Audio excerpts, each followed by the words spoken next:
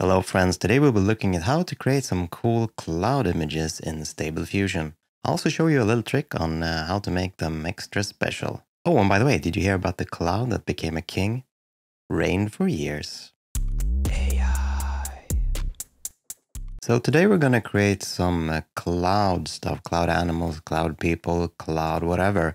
And we're currently in Think Diffusion because SDXL has been quite heavy lately and Think Diffusion gave me free access to their uh, GPU cloud solutions. I'm just using that and um, letting my computer rest a little bit so I can render faster. And we are using a LoRa today, and it's the AetherCloud here by Joachim.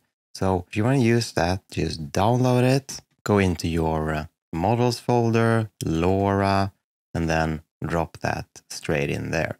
If you are using a cloud-based solution like Think Diffusion, you could just take this, copy link address, go into the same here, models, LoRa, press upload, and just drop that Civitai link in there and it will automatically upload. So what we have here in front of us is a cloud that looks like a dragon. And then to remove this, so you can either, you can add the LoRa here, uh, you can also go in here, LoRa, and just press it. That will give you the LoRa to the prompt here. I will be using the DPM++ Stream Karras. I will be using about 25 steps. And well, that's about it for now. You can play around with uh, the prompt to get more interesting images, like, where did it go? Like the one here, has a little more color and depth. You can actually see there's whiskers on the nose here. So for this, I actually used the digital oil painting style here. Those can also be uh, accessed from the description below. Let's try something else, a cloud that looks like a Panda. is due two images here and we are generating. We're currently using the Juggernaut XL model and we have the AetherCloud loaded.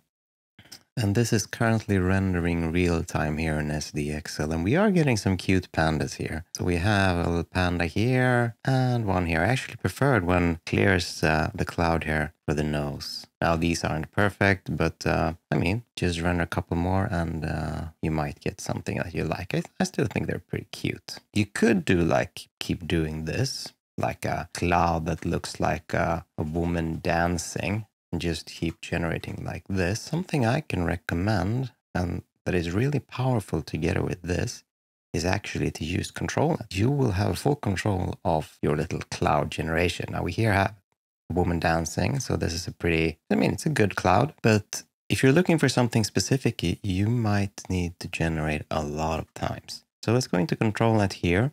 I'm going to drop, I found this stock photo, just uh, a woman dancing here. So we're going to drop that in. We are going to enable control net. And for this, I'm going to try depth. Make sure if you're using an XL model that you're changing the model to a control net as the SDXL model. I will be using the diffusers depth mid here. If you press this little explosion here, you're going to see how the preprocessor sees your image. Going to lower the weight a little bit and the control step a little bit. And let's make a test render here. Make sure it's enabled. We have pixel perfect and we are generating a cloud that looks like a woman dancing.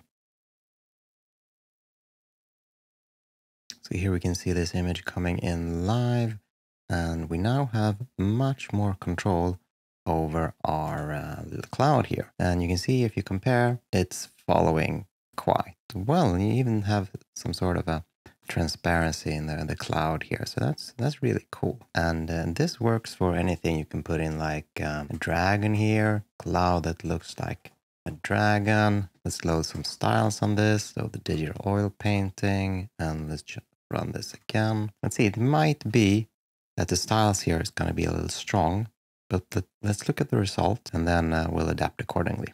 And as you can see, the dragon is coming in too strong compared to the, the cloud LoRa. So what you can do is you increase the LoRa here.